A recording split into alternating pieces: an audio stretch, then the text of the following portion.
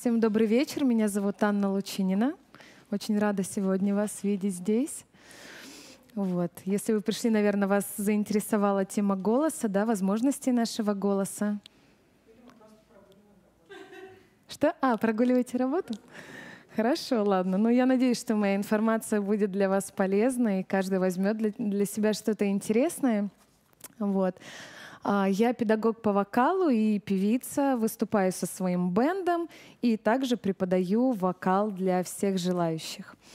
Вот. И сегодня я как раз-таки хотела бы рассказать про возможности нашего голоса, так как э, сама я вокалом занимаюсь с детства, я с пяти лет на сцене и уже приобрела достаточное количество опыта и знаний в этом деле. И когда начала преподавать, преподаю я более пяти лет, а, я стала делиться всеми своими знаниями, навыками, которые я получаю на сцене, помогаю ученикам, студентам, которые ко мне приходят а, не только научиться правильно владеть своим голосом, красиво говорить, посредством голоса самовыражаться, презентовать себя, да, проявлять себя во внешнем мире, а, но также раскрываться, преодолевать какие-то стеснения, страхи, зажимы, блоки, потому что наш голос непосредственно связан с нашей психикой, эмоцией, с нашим физическим телом. И как раз-таки, когда мы э, расслаблены, когда мы чувствуем себя уверенно перед публикой, неважно, если мы выступаем перед какой-то многомиллионной, там, тысячной аудиторией, или мы рассказываем какие-то истории своим друзьям, знакомым, близким — да, то чтобы чувствовать себя уверенно, комфортно, э, наше тело расслаблено, и тогда у нас звук идет э, очень легко, не зажимается, голос звучит прекрасно. Когда мы чувствуем какую-то неуверенность, зажимы в себе, да, какую-то скованность в теле, тогда звук начинает у нас тоже зажиматься, сложно проходит и воспринимается очень тяжело для слушателя. Вот. Для того, чтобы, в принципе, я извиняюсь, буду немножечко так э, приходить, отходить от вас. И сразу скажу, если у вас будут э, по ходу дела какие-то вопросы появляться, можете не стесняться э, и задавать, и спрашивать все, что вас интересует. Хорошо? Прекрасно. Да, вот как раз-таки я сказала, какие хотела бы я вопросы затронуть. Да? А, для того, чтобы познакомиться с нашим голосом и научиться им правильно владеть, конечно же, мы с вами посмотрим строение нашего голосового аппарата, как устроено внутри, как пользоваться какими-то приемами для того, чтобы голос, нас, голос наш звучал выигрышно, классно, комфортно для нас, уверенно, то есть не возникало никаких вопросов по нему. Дальше. А, разберем тему, какие у нас бывают препятствия, да, и почему у нас голос иногда звучит неуверенно, когда не открывается челюсть. То есть такие вопросы мы тоже затронем. Почему важно следить за состоянием своего голоса, за здоровьем своего голоса, ну и также какие можно методы, приемы использовать для того, чтобы подготовиться к выступлению. Мне сказали, что для вас это могло бы быть актуально, вот, потому что у вас бывают какие-то презентации, вот, поэтому, надеюсь, информация будет э, вам полезна. Вот, э, я уже говорила о том, что м, голос у нас связан с психикой. Это достаточно действительно сложный механизм. И, наверное, когда я сама училась петь, когда для меня это было просто детское хобби, когда я еще не думала, что свяжу свою жизнь с музыкой или пением или преподаванием, я не относилась к этому серьезно. То есть просто голос — это для меня там пение, ходить в кружок, заниматься. Но так сложилось в моей жизни, что я связала профессионально свою жизнь, да, свою деятельность с вокалом и стала в будущем уже да, преподавать вокал. И, наверное, за счет преподавания я и обнаружила на практике, э, благодаря моим прекрасным ученикам, что э, достаточно голос это не просто да, инструмент, э, благодаря которому мы там можем красиво говорить или петь. Голос действительно затрагивает какие-то вот прям глубинные, тонкие струны нашей души. Когда приходили ко мне ученики, и чаще всего путь этот был долгий очень, так как люди, наслушавшись, очень много там тебе учителя. Как знаете, самая распространенная история. Учитель сказал тебе, медведь на ухо наступил, ты петь не умеешь, ты фальшивишь, но ты не попадаешь. Все, у человека с детства образовался какой-то комплекс, да, и что он никогда не сможет петь. На самом деле петь могут все, красиво говорить. Это искусство, которому просто нужно обучаться. И самое главное, а, уверенность в себе и расслабление, что у вас все получается. Когда тело свободное, звук льется невероятно легко. Слушать человека приятно. Вот. И часто, вот, когда эти разговоры были у человека, что запрещали в детстве петь или родители не отдали там в любимую секцию, когда они приходили ко мне, начинали петь и осознавали, да, я могу петь, я могу красиво говорить, я могу владеть своим голосом, они, конечно, приобретали невероятную уверенность. Могу сказать, что чаще всего это все проходило через какие-то слезы, болезненные ситуации, выплеск эмоций. Я могу сказать, что поначалу я в начале своей деятельности я даже немножечко пугалась, когда ученик при мне начинал плакать или какие-то истерики такие. Я думала, боже мой, что происходит? Я, наверное, делаю что-то не так. Но на самом деле я понимала, что не зря говорят, что через пение очищается наше сердце, да, и наполняется наша душа, то есть эмоциями, которыми мы подпитываемся через наш голос, да, через вот эти вот вибрации.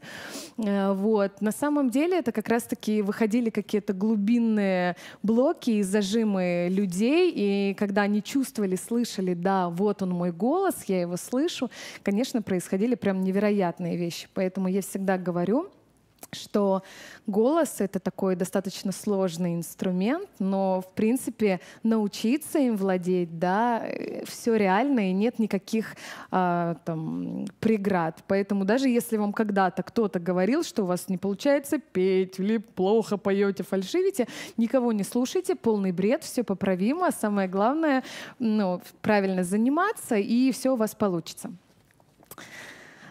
А, дальше. Давайте немножечко вам расскажу про строение голосового аппарата. Здесь могут быть какие-то такие термины, возможно, непонятные. Если что-то вам расскажу и не сразу будет понятно, обязательно мне спросите. А, вот, как раз-таки в строении голосового аппарата входит у нас дыхательный аппарат. Это механизм дыхания — артикуляционный аппарат и голосообразовательный аппарат, в принципе, за счет чего у нас формируется звук. Туда у нас входят голосовые связки и гортань. Но об этом я вам расскажу чуть-чуть попозже. А, начнем мы с вами с дыхательного аппарата, с механизма дыхания. А, наверное, это одна из самых важных частей, э, что касаемо и звукообразования, голосообразования, говорения, пения и всего прочего. Почему? Потому что мы всегда разговариваем и поем на выдохе.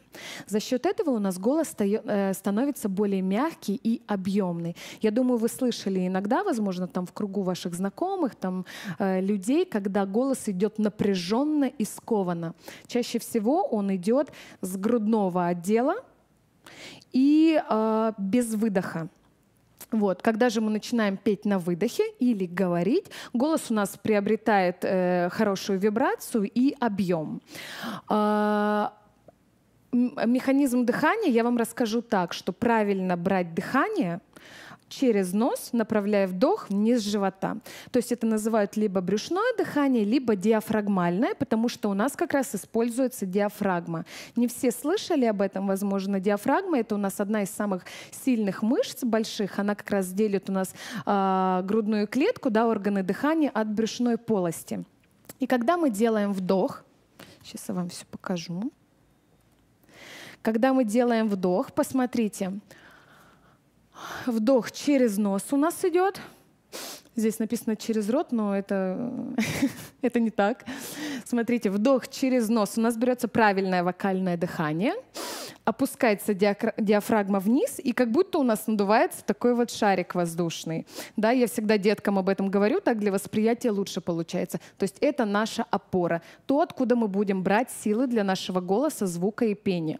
Вот. Когда мы начинаем выдыхать, выдыхаем мы уже через рот, получается, и мы сдуваем наш воздушный шарик, у нас диафрагма поднимается и выталкивает струйку воздуха, за счет чего у нас формируется звук в будущем. То есть смотрите, в процессе дыхания, да, носом берем вдох, направляем вдох вниз живота, выдыхаем через рот, живот у нас сдувается. Это понятно? Давайте попробуем с вами сделать, чтобы я не просто сама с собой разговаривала. Просто положите ручку на живот. Да, да, да, потому что, ну, я с точки зрения все это вокала, то есть когда э, берется медленный вдох, то есть долго, не берется э, то количество э, воздуха, которое нужно, потому что чаще всего при исполнении там определенных песен, да, нужны именно короткие вдохи. И опять же, так у нас нарабатывается сила нашей опоры, и нужно стараться брать вдох чуть-чуть короче. Хорошо, то есть не растягивайте этот процесс. Давайте попробуем вдох через нос. Угу. И не подключаем грудной отдел. То есть грудная клетка, плечи у нас находятся в расслабленном состоянии. Только низ живота работает. Да? Выдох через рот. Угу. Еще разочек. Хорошо, еще. Понятненько, да, всем? Брюшное дыхание на самом деле очень полезно не только для нашего голоса, не только для пения, но и в принципе, когда мы хорошо работаем у нас постоянно, получается, живот туда-сюда ходит, то есть то надувается, то сдувается, происходит массаж брюшной полости, то есть э, хорошо работает у нас пищеварительная система, разрабатывается наш метаболизм. Опять же, я сказала, что грудную клетку мы не должны поднимать. Почему? Потому что когда у нас подключается грудная клетка, при вдохе, то у нас напряжение идет сильно на связки. Да? А когда мы делаем вдох только низом живота, тогда у нас работает только опора, сила наша, плечи расслаблены, и у нас никакого не идет напряжения на связки. Вот. Это значит, что касаемо правильного дыхания. Как раз на вдохе диафрагма опускается вниз, тоже она у нас прокачивается мышца, да, и идет наверх. Чтобы, опять же, почувствовать лучше диафрагму, есть такое упражнение, оно немножечко смешное — вот, но тем не менее я покажу, может, кого-то заинтересует, и попробуйте это сделать. Я называю его «дыхание собаки». А, все вы знаете, когда жарко, собаки э, расслабляют сильно там челюсть, получается, вываливают максимальный язык и начинают активно дышать. Я это упражнение использую для того, чтобы прокачать диафрагму и почувствовать, да, как она шевелится. Только не смейтесь, пожалуйста. Если хотите, можете со мной попробовать. Смотрите у меня работает только диафрагма. Расслабленная челюсть, вываленный максимальный язык и работа диафрагмы. Можем начинать это делать для новичков сначала медленно, да, Опять же, не подключая плечи, грудную клетку, работает только диафрагма, вы должны почувствовать вот это вот положение, да, как у вас работает. Сильно расслабленная челюсть, максимально вываленный язык. Ну, то есть представили, да, собака в жару? Сначала вы начинаете медленно раскачивать, и самое эффективное, когда вы доходите уже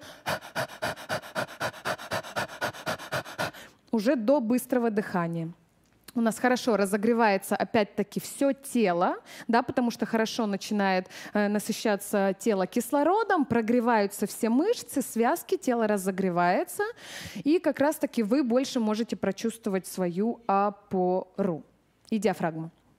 Вот. Это что касаемо механизма дыхания. Здесь все понятно. Вдох носом, выдох через рот. Угу. Далее.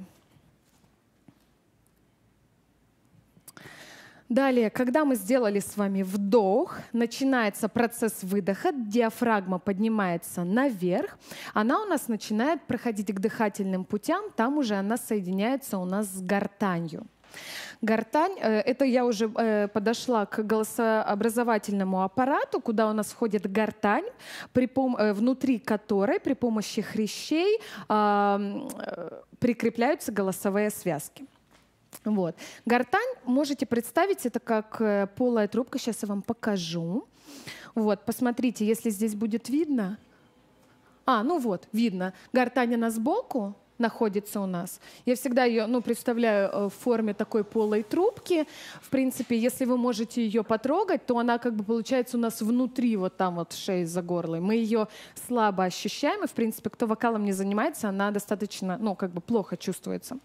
Вот. И внутри как раз гортани у нас находятся голосовые связки, вот там они у нас показаны.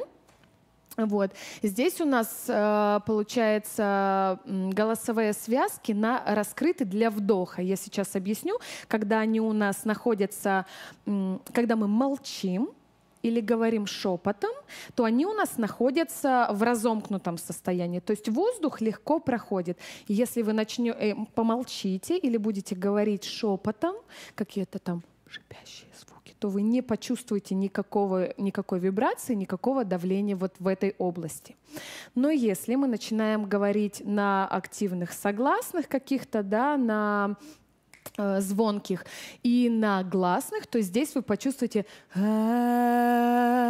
как у нас начинается вибрация. Как раз-таки это у нас идет выдох наш, связки начинают колебаться за счет вот этого прохождения воздуха. Так у нас, собственно говоря, и образуется голос. Здесь понятненько все? Угу.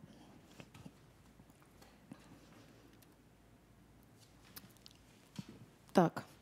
Дальше. Э, переходим к части резонаторы. Резонаторы — это часть голосового аппарата, да, которая усиливает наш звук. Просто, попросту говоря, да, это резонаторы, усилители нашего звука. Для чего они у нас вообще нужны? Это все твердые поверхности, которые у нас есть. То есть это, э, так скажем, все кости, куда у нас направляется звук, за счет которого он у нас становится мощнее и громче.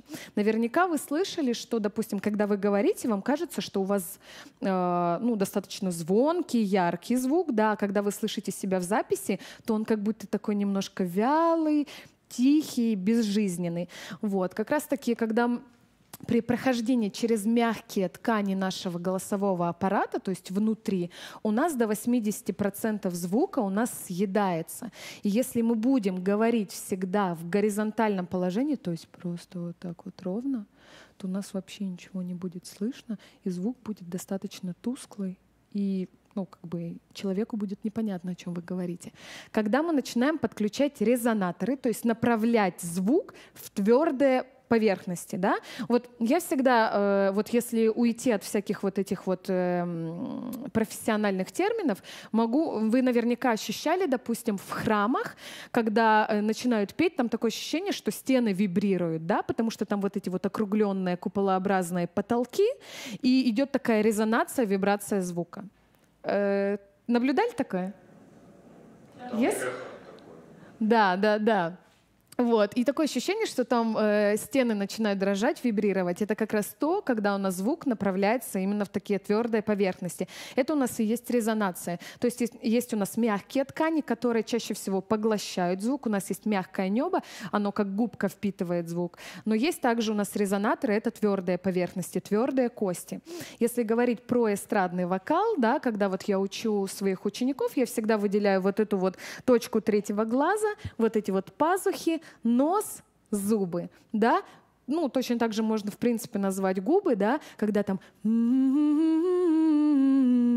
когда мы направляем выдох прямо на губы, мы чувствуем легкую вибрацию и резонацию. Давайте мы с вами попробуем. Смотрите, есть у нас грудные резонаторы и головные. Все, что находится ниже голосовых связок, это у нас грудные резонаторы. Все, что находится выше, это у нас головные. Когда мы поем или разговариваем, желательно, чтобы эти резонаторы у нас были соединены и оба работали. Потому что, когда мы говорим только низкими резонаторами, у нас звук, он, конечно, такой становится низкий, да, низкие частоты, они тоже иногда тяжело воспринимаются для уха, то есть не хватает верхов. И то же самое, когда мы говорим только верхними резонаторами у нас звук становится очень тоненький, плоский и звенящий. Вот. А для человека всегда все-таки больше воспринимается именно такой, наверное, сбалансированный голос, чтобы были и низы, и верха. Вот. Давайте сейчас попробуем. Смотрите, тоже такое упражнение, чтобы вы сразу ощущали это все на себе. Запрокинуть нужно будет голову, положить одну ручку на грудь, а другую на живот. Попробуем делать вдох, который мы с вами уже делали. Да? Смотрите, запрокинув голову, попробуйте пропеть ха, ну или проговорить, неважно, и мягко расслабляя челюсть вниз. Смотрите.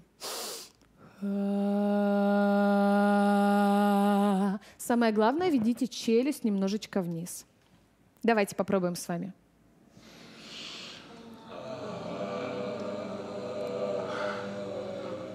Прекрасно. Почувствовали вибрацию здесь? У вас должна завибрировать грудная клетка. Почувствовали?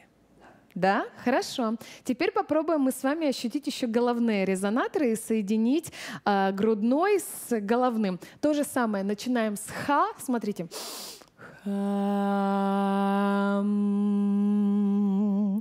Начинаем опускать голову и переводить звук в М на губы и опускать голову вниз. Можете положить одну ручку на грудь, другую на переносицу, тогда вы почувствуете, как у вас здесь начинает вибрировать, потом звук плавно переходит в переносицу. У вас соединяются оба резонатора, и если вы будете это систематически практиковать, то у вас, в принципе, тембр голоса станет более окрашенный, более яркий. Вы начнете ощущать, где у вас идет вибрация при говорении или пении. Угу. Давайте попробуем. Запрокинутой головой. Поехали.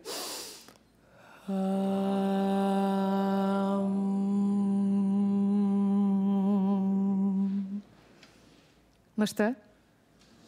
А что надо было Почувствовать надо было э, резонацию здесь в груди и в носу, получается. Вибрация должна быть. Получилось что-то? Там что-то получилось. Получилось, да. Ну, возможно, будет получаться не сразу и не с первого раза. Это абсолютно нормально, потому что очень много всего я тоже своим ученикам говорю на представлении. То есть, да, мы это видим на картинках, да, мы это теоретически знаем, где что, а ощутить это, включить, особенно когда ничего, ну, как бы там раньше не практиковал, достаточно сложно. То есть все приходит с опытом. Это нормально. Так, продолжаем дальше. Переходим к артикуляционному аппарату. Да, я думаю, всем понятно. Это то, как бы, да, при помощи чего мы разговариваем, за счет чего наша речь становится более понятной. Сюда у нас входит язык, губы, небо и челюсть. Ну вот, немножечко пробегусь и э, скажу вам некоторые моменты, которые вам могут помочь проработать эти. Значит, начнем, да, начнем мы с языка. А, для того, чтобы размять язык, допустим, у вас какое-то выступление, презентация, неважно что, вам нужно себя разогреть, все органы артикуляционные, дыхание. То есть я вам это показала, какие упражнения вы можете сделать. Э, вот. А, что касаемо языка, какие упражнения могут быть? Смотрите, а, можем сначала вытягивать язык иголочкой вперед, то есть на звуки «э» тянуть. Э. Потом лопатой вниз, получается, на А. Э, э. И начинать чередовать. Э, э, э, э. Отлично. Так у нас разогревается корень языка да, как раз таки дальше у нас идет э, в, в гортань э, отверстие, и у нас разогревается э, голосовой аппарат. Язык тоже очень важен, потому что иногда, люди очень плохо работают, ничего не понятно. То есть это тоже очень важная часть артикуляционного аппарата. Вот здесь я написала, э, на какие согласные можно тренировать э, язык разогревать. И вот э, такие вот скороговорки. На самом деле их очень много, выбирайте любые. Можете начинать сначала с медленного чтения, а потом уже э, практиковать скорочтение. Дальше переходим к разогреву губ то же самое, смотрите, здесь э, согласные, на которых мы можем Б, П, М, В, Ф, да, и хорошо, баран-буян залез в бурьян. Тоже все четко проговариваем. И на самом деле, не пугайтесь, когда я э, говорю своим ученикам, больше включая артикуляцию, пропиваю еще что-то, они, нет, я и так много открываю, это же некрасиво, не эстетично. Такого нет эффекта. Когда мы выходим на сцену, там, да, неважно в какой области, у нас все равно немножечко и звук съедается, и мимика тоже. Поэтому я всегда говорю, на всех репетициях прорабатываем все на 200%. То есть чем больше и качественнее будет проработан ваш аппарат, тем более ярко и выигрышно вы будете звучать там, да, на своем мероприятии. Вот. И здесь тоже самое э, скороговорки. Также, смотрите, кстати, забыла сказать э, про язык. Еще можно порычать, то есть обычно я думаю, это каждый умеет делать. Хорошо разогревается язык. А, и поделать такие упражнения. Смотрите. Ви, ви, ви. Когда мы соединяем а, сначала в трубочку губы, потом широко. Ой, сори. Ви, ви, ви. Да, ну как типа английское вы. А, вот, или как там мы, не знаю. Вот. И нюа. Смотрите. Ню, опять же, соединяем трубочкой ню, а раскрываем максимально рот. Ню, а, ню, а. А потом мы делаем с перекатом нюа, то есть через у. Нюа, нюа, нюа. Да, и максимально, насколько вы можете открыть рот, открывайте. Хорошо? И не стесняйтесь своей прекрасной активной артикуляции. Дальше.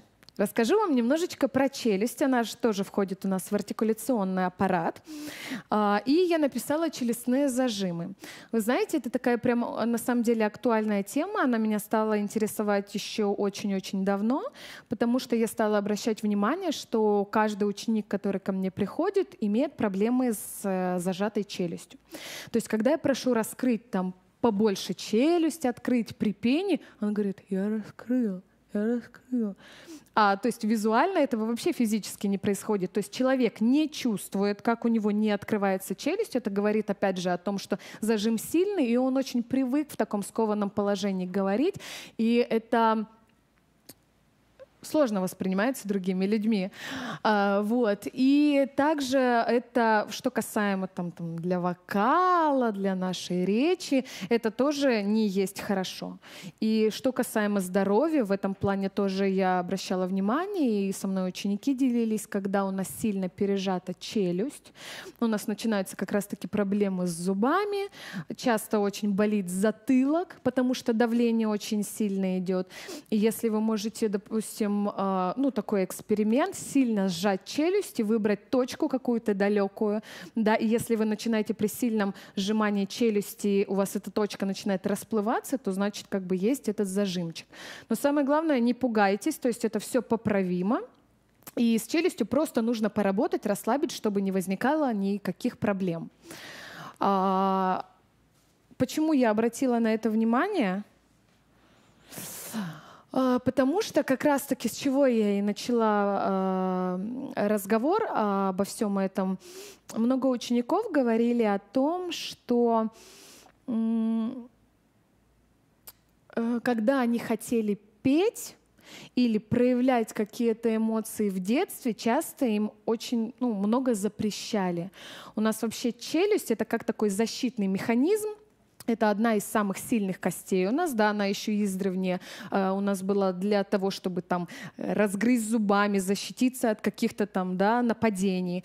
Вот. Э, сейчас она у нас тоже э, влияет как такой, вернее, э, несет функцию защитного механизма э, и формируются э, зажимы в челюсти еще с самого детства, когда там пихают тебе эту ложку с кормом, да, и маленький ребенок зажимает челюсть, потому что он там не хочет кушать или еще что-то.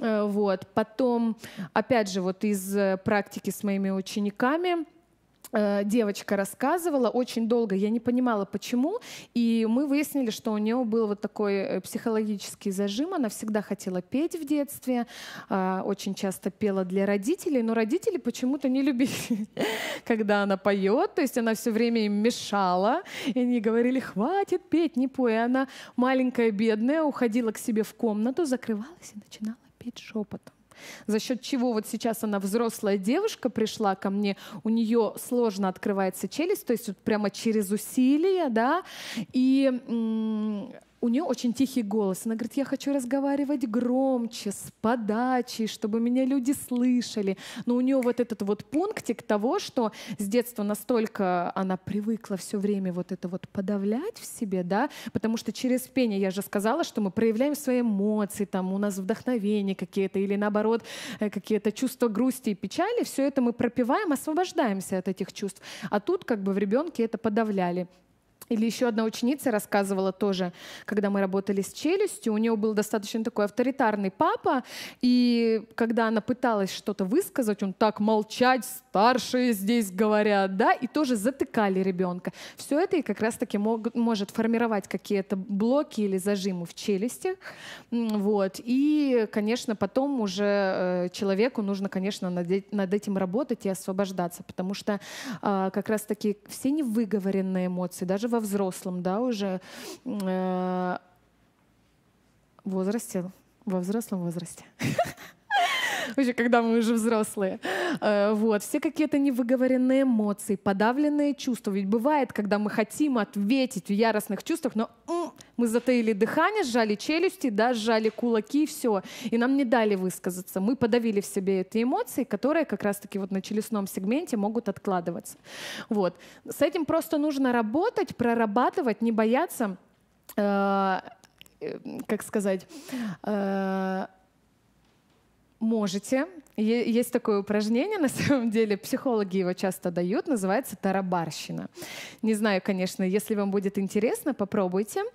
А, когда вы приходите домой, желательно уже в конце дня, когда у вас как раз-таки подкопились какие-то эмоции, вы можете прийти домой, сесть в расслабленное состояние, когда вас никто не видит и не слышит, если есть такая возможность, вы можете начать просто с закрытыми глазами высказывать все, что вы хотите. Весь гнев, обиды, злость, радость, ненависть, любые эмоции, которые есть, вы начинаете тараторить безустанно до того момента, пока вы это все, то есть не, не, не получите такое ощущение законченности. Все.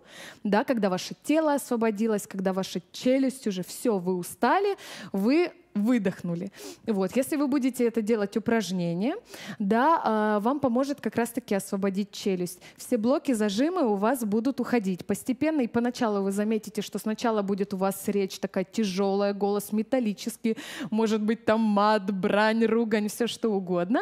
Да, потом со временем вы начнете ощущать, то, что голос у вас стал более мелодичный, плавный, уже другие слова вы начинаете говорить. Вот такое упражнение, если хотите, можете попробовать там в течение двух-трех недель, если есть такая возможность, поделать. Все это помогает как раз-таки освободить нам, да, разжать челюсть. Вот, также, а, если у кого-то есть возможность, обязательно ходите, пойте дома, в караоке. Это тоже классный способ для выплеска эмоций, да, потому что когда зажимается челюсть, автоматически у нас идет зажим связок. Вот, когда у нас идет сильное перенапряжение связок, то они, конечно, страдают, садится часто голос, какие-то болезни, хрипы, ангины. То есть, когда голосом человек не занимается, э, есть такой момент, что часто люди болеют какими какими-то простудными заболеваниями, сипы, хрипы, горло болит и все такое. То есть вот это прямо классная такая тема. И опять-таки за счет пения у нас классно тело освобождается. То есть, когда есть какая-то эмоция, все проходите, пропивайте, чувствуйте вибрации вашего голоса, вашего звука, ощущайте это все в теле. Вот, там, если есть возможность покричать, кричите. Если есть возможность, тоже э, смешно, наверное, будет, да, но что-то покусать, покусать, там, не знаю, зажать полотенце э, зубами, да, выплеснуть какой-то гнев, агрессию, неприятные чувства, тоже классно освобождает.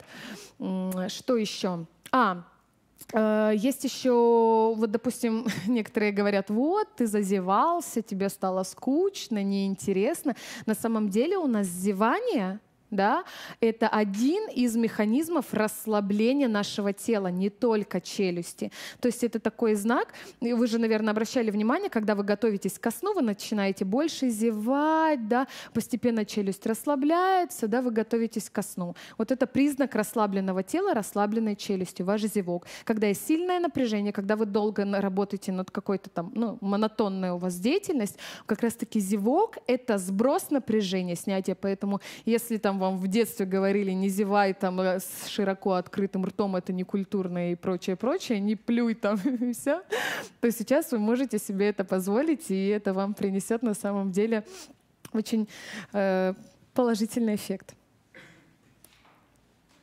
Вот, проговорим немножечко про здоровье нашего голосового аппарата, по-другому называют гигиена голоса, а, как э, следить за своим голосом, чтобы он вам дольше прослужил, да, чтобы он всегда оставался чистым, красивым, мало было каких-то болезней, напряжения э, в нем. Э, начну, не хочу вам залечивать какую-то там демагогию по поводу вреда алкоголя и курения, но так как я рассказываю про голос, да, с точки зрения как педагога, я вам все-таки расскажу небольшую информацию про то, как влияет, ну, как бы никотин, это естественно, он оседает на наш наших голосовых связках, так как там связки находятся, где ну, слизистая, создается не очень благоприятная микрофлора там, и иногда бывают такие микроэрозии создаются, то есть такая рыхлая среда. Конечно, кто занимается пением, да, это курение несовместимо с голосом.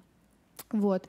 А, и то же самое с алкоголем. Знаете же, есть такое мнение, что надо перед выступлением, перед пением там хряпнуть там коньячку или что-то такого, чтобы голос звучал лучше. На самом деле это такой кратковременный допинг, и он, да, он может вам помочь, но за счет того, что как бы он расширяет сосуды, и вам сначала становится легко петь, но потом, если вы уже немножечко осипли, охрипли, и у вас голос э, перенапряжен, то потом будет еще хуже эффект в несколько раз. То есть вам дольше нужно будет восстанавливать голос, поэтому старайтесь не злоупотреблять. И когда, э, получается, там вы пьете алкоголь больше 20 градусов, то происходит ожог голосовых связок.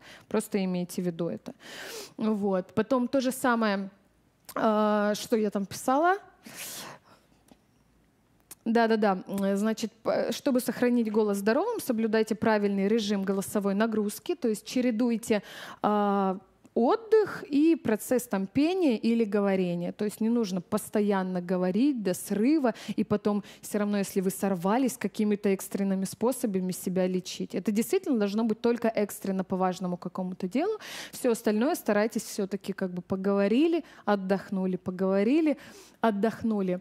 Дальше. Э, использовать, да, правильную технику говорения или пения, то, что я вам рассказывала, то есть подключать опору, чтобы не поднимались плечи, не зажимался голосовой аппарат, да, то есть мы используем всегда опору, чтобы снять напряжение с нашего голоса и резонаторы, то, что я вам говорила, и правильная, четкая э, дикция, артикуляция.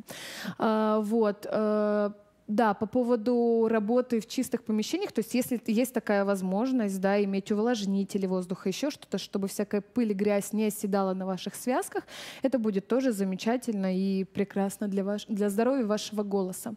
Голосовой покой во время простудных заболеваний, это тоже очень важно. Чаще всего, если у нас э, есть какая-то там неотложная дела, работа, простыли мы, не простыли, мы идем на работу и, естественно, очень много говорим, и голос и так сел, ему там тяжело, а я могу сказать, что э, когда у нас связки в здоровом состоянии, они имеют такой э, оттенок ну, слоновой кости. Когда у нас начинают связки болеть или при простудных заболеваниях, они красные, они немножечко отекают. Голос, э, то есть если вам говорила, да, что связки у нас смыкаются при разговоре, то из-за того, что они отекшие, они тяжело смыкаются. И если еще при этом давать очень сильную нагрузку, то просто может одна связка, допустим, там перестать смыкаться, да, то есть как выйти из строя. И э, просто знаю по себе, что когда вот у меня интенсивная какая-то работа, когда много выступлений с группой, особенно декабрьские какие-то, и не хватает сна, не хватает времени для того, чтобы восстановить голос, как раз-таки я это чувствую очень сильно напряжение, это неприятное ощущение. Лучше, конечно, с этим не рисковать. И восстанавливается голос достаточно долго. Вот. То, что я вам сказала э, про э, говорение в аудиториях, желательно в больших. Если для большого количества людей, если там шумно, да, старайтесь всегда говорить с микрофоном. Вот, потому что, опять же, вы облегчите себе работу, не будет никакого напряжения, давления, вам не нужно будет прилагать много сил для того, чтобы люди вас услышали. Э, да, и исключайте, пожалуйста, все семечки, орешки, сухарики, потому что кофе, кофе, потому что, во-первых, оно сушит слизистую, да, нам тяжело будет разговаривать. Орешки, семечки, они, знаете, а, тоже, когда грешу этим перед своим выступлением, то я потом чувствую, как все это оседает у меня на горле, на глотке. Это тоже неприятное ощущение. Вот, поэтому старайтесь тоже вот это вот исключать. То есть здоровье это голосу никакого не приносит. Вот. Я понятненько рассказываю все? Нет никаких вопросов? Хорошо. Да, и теперь как подготовиться к публичному выступлению, я вам такое расскажу небольшие, ну, буквально тезисы. Вот. А, для того, чтобы хорошо выступить и подготовить свой речевой аппарат, голосовой, а, нужно обязательно выспаться, потому что сон — это прям один из важных моментов. Как я уже говорила, что во сне у нас максим... ну, лучше всего восстанавливается наш голос. То есть ничего э, лучше не помогает. Сама, когда, допустим, прихожу на осмотр к фониатру, он может сразу сказать, мало спишь, потому что связки находятся, там, допустим, в каком-то напряженном состоянии. Больше отдыхать. Особенно, я уже говорила, если почувствовали, что простыли, вот, обязательно высыпайте, чтобы голос был выспавшимся, отдохнувшим и здоровым. Вот, потом также мне часто, э, когда ходила к фониатору, я говорила там, э, что мне сделать, чтобы завтра у меня концерт, выступление. Он такой, ничего, а он старый доктор такой, э, ничего не переживай, пожалуйста, съешь бутербродик с маслом, с утра теплый чаечек, и все хорошо будет. Ну, то есть э, все, что такое сливочное масло, авокадо, это тоже благотворно э, как бы влияет на ваш голос. Там перед выступлением вы можете такую дополнительную тему... Да. Можно вопрос? Я услышала, что наоборот, например, молоко нельзя пить перед выступлением. А про, я про молоко не говорила. Молоко... Жирное. А что-то жирное? Ну да, ну вот все, что масло сливочное, вот какие-то, они наоборот смазывают, они помогают. Насчет молока нет. Вообще старайтесь, э, что касаемо вот типа я простыл, надо пить горячее молоко с медом. Никакого горячего. Если вы чувствуете, что сел голос, болит горло, не пейте никогда ничего обжигающее. Только обильное теплое питье. Желательно, чтобы это было просто, была просто чистая вода. Это вот реально лучшее средство, которое побыстрее поможет остановиться. Так, что я вам говорила? А, дальше. А, провести небольшую хотя бы гимнастику для того, чтобы почувствовать мышцы, почувствовать все тело, разогнать кровь по телу и почувствовать какую-то бодрость. Потом проведите какую-то артикуляционную разминку, скороговорки, там языком поработайте, да, там челюстью, губами, то есть все, что можете сделать, обязательно сделайте. Также можете для настроения, для того, чтобы почувствовать, как раскрылся ваш голос, пропеть там куплет любимой песни, там, рассказать, прочитать какое-то стихотворение. То есть почувствовать, насколько раскрылся ваш голос, готов ли голосовой аппарат к вашему выступлению. Старайтесь, чтобы всегда была вода, потому что когда много говорите, тоже, э, опять же, все пересушивается внутри. Старайтесь, чтобы вы постоянно пили, опять же, вода, комнатной температуры. То есть ничего эм, холодного, ничего горячего. Вот. Э, что еще вам рассказать? А, и я еще забыла рассказать, вот, допустим, экстренно, если у вас там завтра выступление, послезавтра у вас сел голос, простыли и еще что-то. Это сон хорошо восстанавливает кальций и витамин С, Э, вот, потому что он быстро очень работает со связками, хорошо, а у нас голосовые связки, они хорошо восстанавливаются. Э, потом, что еще сказать? Есть, знаете, такой препарат гомеовокс, может быть, слышали? Нет? Не слышали. Ну, в общем, вот, это гоме... Ну, конечно, обязательно проконсультируйтесь с врачом, но вообще я слышала, что и, ну, сама его пью, когда у меня... Это гомеопатические таблетки, ну, просто рассасывающие для того, чтобы подлечить там он для ларингитов, для сорванного голоса, он хорошо восстанавливает связки, то есть как бы он безвредный, не приносит какого-то это не антибиотики э, и ничего такого. Вот. И обязательно старайтесь, э, допустим, когда вы пришли на выступление, э, там, на презентацию, все что угодно, а, старайтесь, чтобы ваш голос не был очень тихим.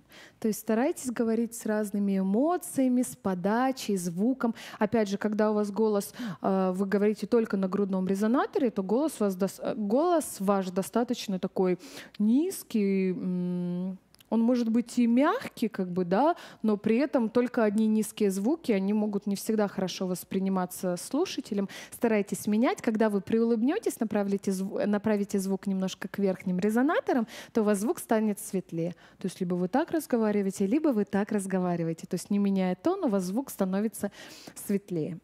Вот. Какие-нибудь вопросы у вас есть? Как работать с основными дефектами речи? Ну, например, э, шепелявостью. Ну, это логопеды. Это ну, логопеды. Э, логопед, логопедом, может, есть какие-нибудь домашние рецепты? Через пение. Эм. Ну, это вопрос не вокала, скорее, а дикции, но все же. Ну, я могу сказать, ходил у меня мальчик один, который букву «Р», допустим, да, это вот единственное, что, с чем я сталкивалась, а, вот, но он очень этим гордился, да, и на самом деле, когда мы вы, выполняли определенное рычание, да, вот все, что связано «Р», с каким-то быстрым дыхательным потоком воздушным, он начал нормально говорить «Р». Когда он начинал именно вернее, не так скажу, когда он пропевал, у него была хорошая «р». Именно за счет дыхания. Когда он просто говорил, как он привык, там, да, он сразу «эх, эх», и все прочее. Ну, можно попробовать. У меня просто не приходили ученики именно с, э, с такими яркими дефектами речи потому что я как бы через вокал пытаюсь раскрыть. Я люблю вокал не только с точки зрения, что я могу помочь человеку научиться правильно петь. Меня вот в последнее время прям очень стало включать то, что я могу человеку помочь раскрыться. Да, то есть, потому что они боятся, боже мой, там тоже классный у меня пример есть. Женщина, она пришла, ей уже было 45 лет, и она как бы, она говорит, вот, я всю жизнь к этому шла, но вот так боялась. Она пришла на первом уроке, она так вот сжалась к стенке, и мне самой от этого становилось страшно, как-то ее, вот, э, не знаю, там, задеть, как-то попытаться. Ничего, потом она стала так раскрываться, потом она стала выступать на сцене, и она поступила там на э, второе высшее образование, там стала, блин, на актерские курсы пошла. То есть классно ей пение очень помогло раскрыться. Вот. И мне очень нравится видеть э, результаты людей. Вот. Еще вопросы? У меня есть. Ага. Я, может быть, пропустил и не очень сильно запомнил. Просто хочу, э, ну, чтобы ты напомнила, э, какие упражнения используют для силы голоса. Ну, можно говорить просто громко, а можно говорить сильно. Да, да, да. Смотри, э, у нас обязательно используем опору, потому что если у нас что будет... Опора — это у нас продыхательный механизм, тебя не было, да, наверное? Когда мы делали вдох низом живота, выдыхали, да, так мы прокачиваем нашу опору, низ живота, нашу диафрагму. Это у нас дыхательный механизм, который помогает нам отключить верх. Вообще всегда говорю, то есть когда вокалист поет, да, э, чтобы низ всегда был твердый, то есть мы комфортно, твердо стоим на ногах. Верх должен быть расслабленный комфортно, куда хотите, поворачиваться с микрофоном, не микрофоном. То есть очень свободно, шея должна гнуться. То есть никакого вот этого зажатого ступора не должно быть. Потому что это будет зажимать связки, и ни громко, ни тихо вы уже сказать как бы не сможете. То есть нарабатывать дыхательный аппарат, силу, опору за счет толчков, да, за счет дыхательных упражнений. И потом же резонаторы, усилители звука для, для того, чтобы не орать на горле, не говорить на связках – мы отправляем звук в твердые полости, да, я уже говорила, это здесь пазухи, нос.